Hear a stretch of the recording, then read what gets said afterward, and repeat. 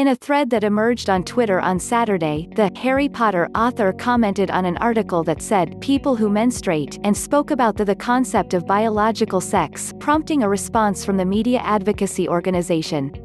Author J.K. Rowling was scrutinized on Saturday when she penned a series of tweets that came under fire by some Twitter users who called the comments transphobic. As the tweets gained visibility and negative reactions, media advocacy organization GLAAD commented that, in 2020, there is no excuse for targeting trans people. The thread started when Rowling reposted an opinion article from the website Devex titled, Creating a More Equal Post-COVID-19 World for People Who Menstruate. She called out the story for its use of language, writing, people who menstruate.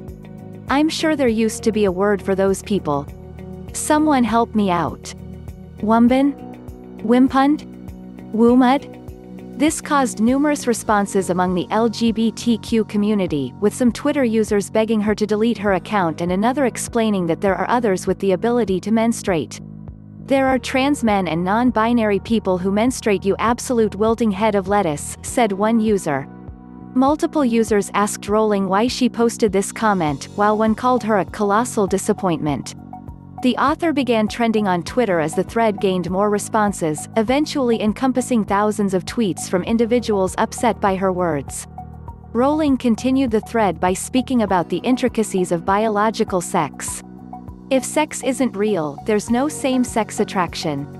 If sex isn't real, the lived reality of women globally is erased.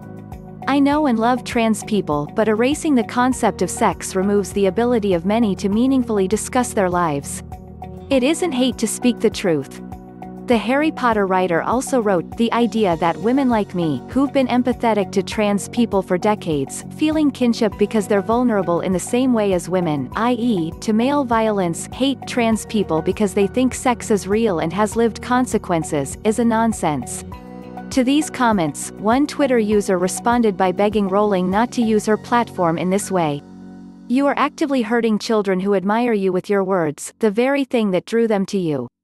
Rowling went on to note that she respects every trans person's right to live any way that feels authentic and comfortable to them. She said, I'd march with you if you were discriminated against on the basis of being trans.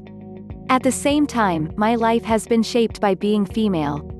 I do not believe it's hateful to say so. In response, a Twitter user wrote, There is so much to unpack here. First of all, trans people are discriminated against on the basis of being trans, there is no if, and here you are, not marching with the LGBT community.